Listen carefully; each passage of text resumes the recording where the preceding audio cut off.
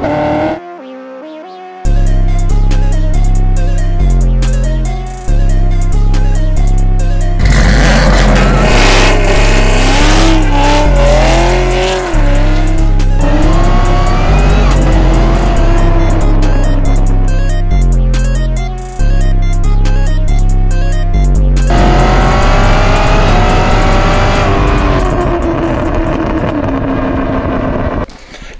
know the vibes. It is Smoovelife Ty. We're back on the video, you guys. We're back on them bangers, and we got some changes for the C7Z coming up. So let me go ahead and start the car. Oh, cold start because we haven't drove it in like, dang, since last week. So we're gonna have cold start the car. Do what we gotta do, get it out of here. And I'm gonna let you guys know what we got going on for today.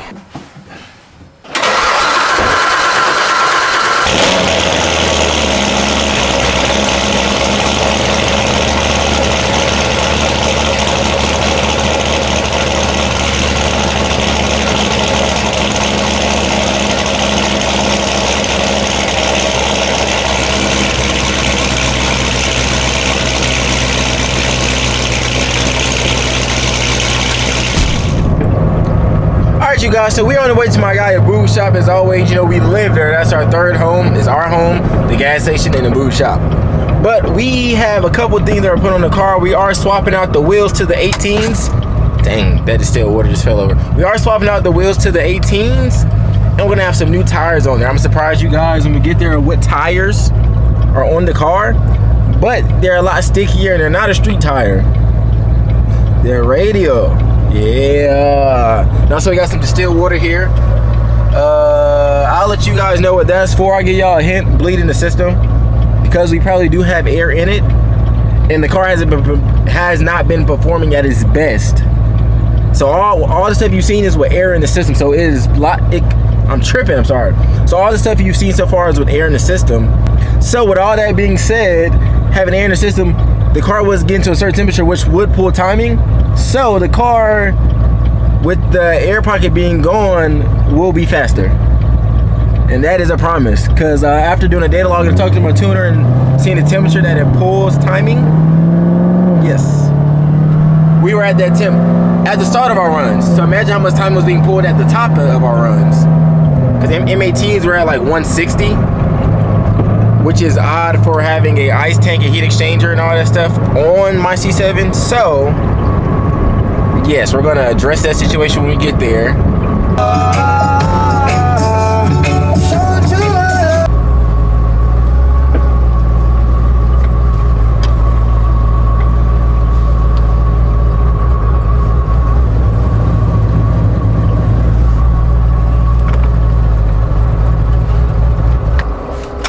We are here, buddy.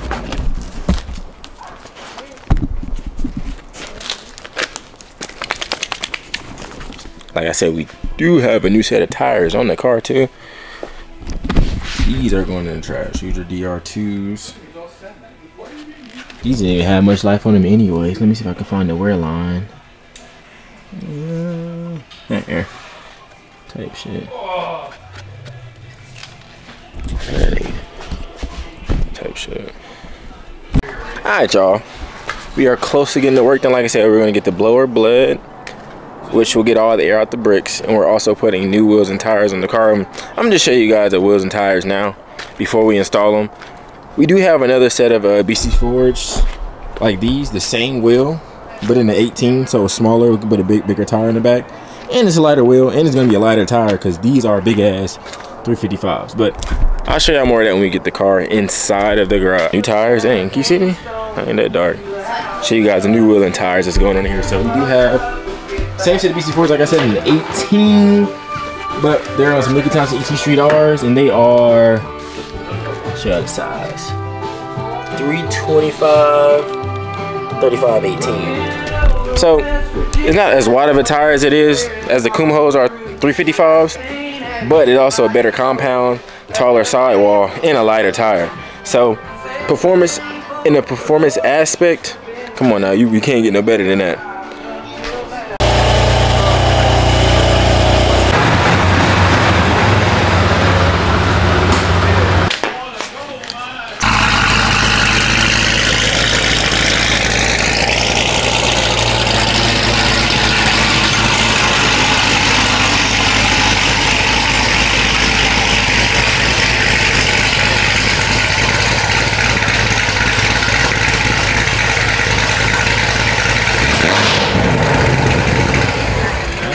God. I think your knee's supposed to bend like that, bro. It might be hyperextended. Oh, this is our latest Kentucky Derby. Nah, I ain't gonna do that. I ain't gonna do that. I'm part of the demolition derby. Demolition Derby. is your car outside? yeah, it's right over there. Let me show you guys what type of uh, demolition she's made. Ooh, look at this. Damn. Big demolition. She flipped in the car though, like she rolled in the car on the highway. And see, that was today, and she's walking fine. So, hey man, God is good, but dang. She made the 4Runner look bow-legged now. and she said she hopped out the windshield too. Tough though. Good thing she's safe.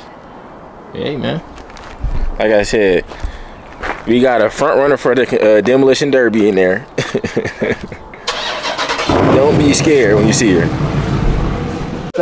World peace. Now stop playing. Go, call Axel, the come dog. here. Axel, come here. Why you Hey, looking we're at in her? relations. Nah, let me stop. I mean, let me get, let me get out. Alright.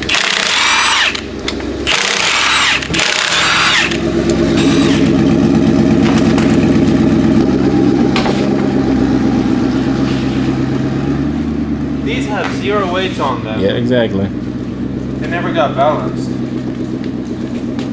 Mm-hmm. If I was a- No more fat ass, heavy ass tires. You said these should like 47 pounds a piece, just the tires by itself. Put these fat boys on there.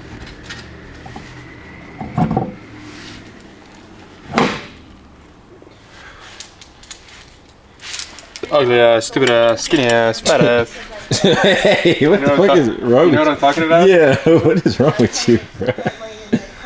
Stupid ass. How did you hit the other car? That's that Dallas shit, bro. I don't know how he thinks of stuff on the spot so quick. He was already, he was already baking. He was already prominent in his head. He was just waiting to say it. I flipped like one and Were you scared when you rolled my car. but Type shit. He's like, where Stupid are ass, What? yeah. Face ass, ugly ass, sticky mud. He said, okay, I'm on board. Shit, we got some stickums on there now though. Second gear pulls now? Is that what it sound like? I can stab it instead of having to roll into it? Took my blood pressure and I put them at 25, 26, so Okay. you might want to air it down when you do it full. Okay. Okay. Ugh. It's like, fine. I'm just If you if it doesn't rub, you can put a bigger tire next time. Bigger sidewall, yeah. Yeah, I mean, those those are but okay. that's still a 325. It's pretty wide. What the tires were rubbing? Hmm? Back? Nah, I just put a different set. Makes too much power for those. So. He's like, bro, So fuck the bleed. Mom, I'm cussing. Forget the bleeding stuff. We found the issue, bro. The pump was upside down. So we took the pump out, cleaned everything. I didn't even record it because we were so deep into what's going on. But the pump was upside down, so it wasn't flowing water. It was just uh like sucking it slowly, but just going in like really slow. So fuck the bleeding situation. weeks ago, he's like, hey bro, can we get the Porsche done? Because the Porsche The was- pump motor was put to- wasn't working.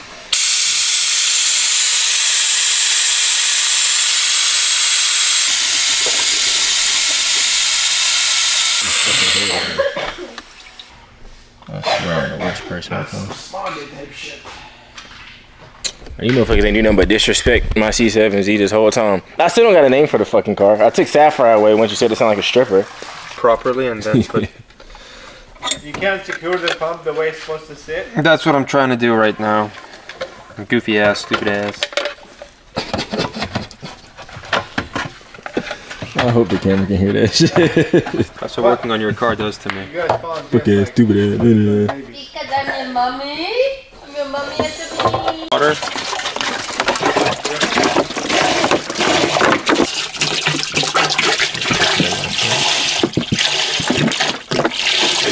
I think I got a video of the pump going before, It made wastegate. so It had an I'm gonna insert that right now.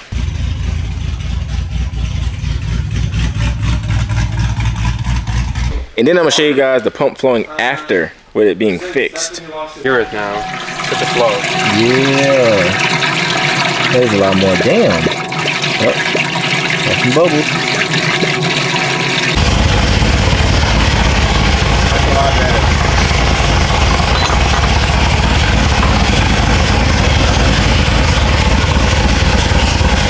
Flowing out. But after you flipped it around, position it better, it's actually flowing a lot better like y'all seen before. Hopefully my MATs are lower. My IATs were never the problem, but my MATs were high.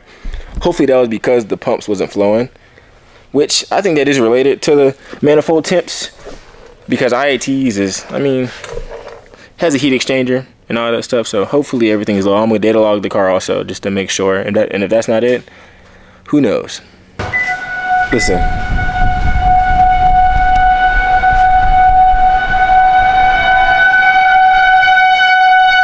I don't see a nader though. No naders in sight. So we good, buddy. But if so, we gon' worst case scenario, we gonna hop in this thing and get ghost, bro. Worst case scenario.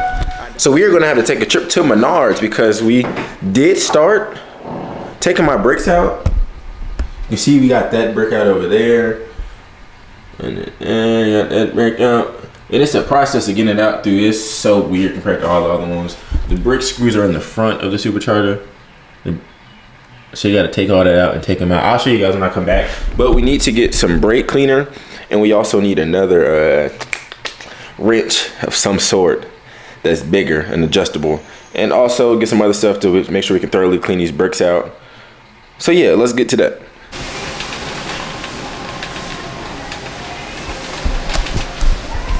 All right, so we're in here for a wrench, a bigger, a better adjustable, some brake cleaner, a, a clear bucket to see all the dirt and gunk come out my intercooler bricks. And that should be all on my list. We'll see what else I see out here. Four. We got a full set of these right here. Just to be on the safe bucket. Finally, we got both bricks out. They are right here and they are disgusting. This was the driver side, this was the passenger side. Don't know why this one has this here and this one has like RTV they put on here. I don't know why they, whoever did that, why they did that. Maybe it was leaking, who knows. But the back, the back is, whoo. Really no signs of leakage though, no burnt orange marks. So we're just gonna probably clean these. Same thing here. Just like oil and grime build up. So yeah.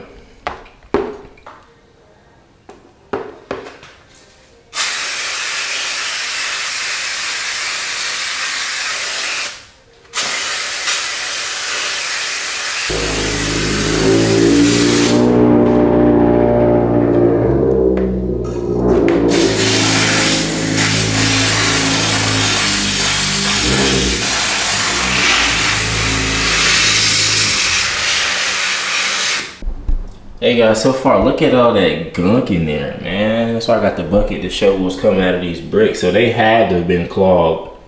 Cause look at that, that is so nasty. You still gotta do the back end of this one too.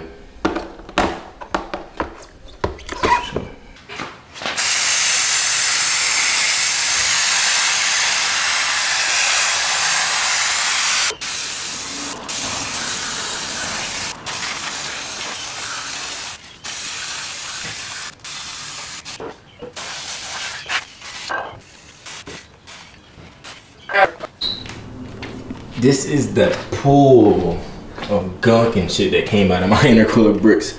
So yeah, they were clogged up. That is disgusting. You can't even see through that, bro. That is so nasty. We have them right here. Gonna let them sit out for like an hour or two. Let them dry. Brake cleaner I know evaporates quick, so it's not, not really a worry. But we're still gonna let them dry. Give it some time to get everything up out of here. Because if you tilt them over, still look up. Never mind. That was quick. What about this one? Dang, nothing came out. Still gonna sit for like an hour or two. They look brand new damn near compared to what they like before. And I remember the bottom of these. so yeah. Definitely a big difference just from spraying brake cleaner. A whole bunch of brake cleaner at that. We went through a small can, a bigger can, a bigger can, and almost another bigger can. Just to get this like this and to have all that gunk there. So see you guys on the reinstall. I'm gonna pour this nasty water out somewhere. Not water, brake cleaner. See you guys on the reinstall. Hopefully everything goes right and this fixes our MAT situation. Fingers crossed. Disgusting, bro. So we are about to install the bricks back where they're supposed to go. Hopefully this fixes our situation. It should. Shouldn't take too long to put these things back together, but you never know how car stuff goes. So let's get them put in real quick. Boom. We got everything back together. Everything's cool. So first things first, we're gonna do a run of the coolant. So we're just gonna start the pump, let it flow through the, the system, just make sure we don't have any leaks. And then we should start the bleeding procedure, which we're just gonna fill the rear tank up to almost to the top, two inches from the top, and just let it run for like 10 minutes. So let's do that now. Hopefully we don't have any leaks. Fingers crossed. All that work. All right, let's turn this pump on.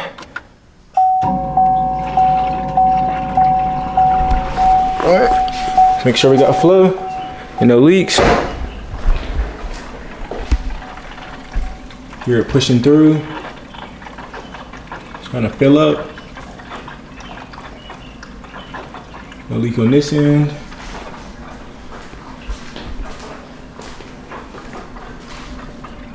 No leaks on this end. You can hear it filling up. So let's go to the trunk and pop the trunk open to see what that looks like. It was just pushing through too, you can hear it.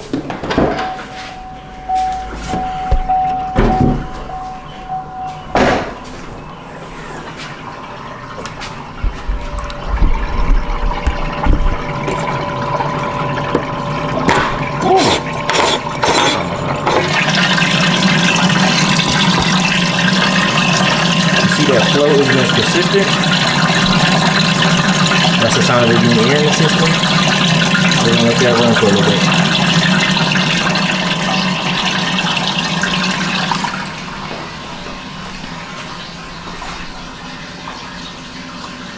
Oh, I'm pretty sure it got through. I can hear it now. We did get a tornado, a really, really bad one that we actually got two. It was it was one that touched down in a city like 25 minutes away from me, which was very bad. It ran over a lot of homes, and then we also got one that touched down at the airport, which is like eight minutes away from me, like on the airport on the runway around that area. But luckily, it skipped over us. Thank, thank you, my Lord and Savior. May He keep us protected for sure. But we do have a sunny day. All the rain that was down kind of is drying up. This is only from my tank. I'm draining my trunk tank. So we can log and see if me cleaning the bricks is gonna fix the issue. So hopefully it does. Fingers crossed. Like I said again, fingers crossed. After we bleed most of the, not bleed, after we like purge most of the water out. Purge? I don't think that's the word, but most of it out down back from the bleeding process, which you had to fill it up two inches from the top. And I did that, and now we're just bleeding it down. I am gonna throw some more water water in here so we can keep that uh, mix a little bit higher than fucking six gallons of distilled water in one thing, one tube of it. So I'm gonna put some more in there, get on the road, uh, log with HP tuner, see if anything is fixed, if the temps are lower.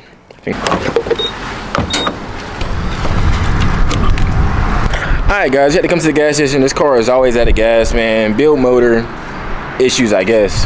But we're gonna get the mixture of E50 again, drive around, let let the let the fuel circulate, make sure you got the right mixture. Then we're gonna do a couple hits, see if IATs and MATs go down. Cause all we've been doing now is stop and go, but we haven't went over 160 yet and stop and go. But it's a little cool out here, so I don't know if that's tricking me or not. But let's see if me cleaning these bricks actually works. So let's see. So see how, how medical temps are at 184 because I've been sitting here with the engine off and the enclosed. Let's start the car.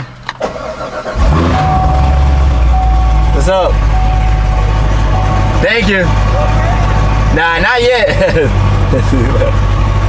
Let's see them temps just go down. That should help.